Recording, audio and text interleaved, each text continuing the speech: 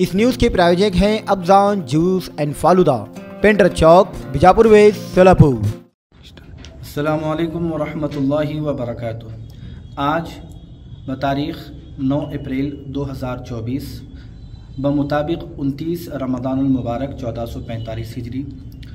रूयत हिलाल कमेटी शोलापुर की तरफ़ से ये ऐलान किया जाता है कि आज कहीं भी ईदालफ़ितर का, यानी माह शवाल का चाँद नज़र नहीं आया है। जिसकी बिना पर कल माह रमज़ान के तीस रोज़े मुकम्मल होंगे। और इन 11 अप्रैल 2024 बरोज़ जुमेरात इन ईदालफ़ितर होगी। अल्लाम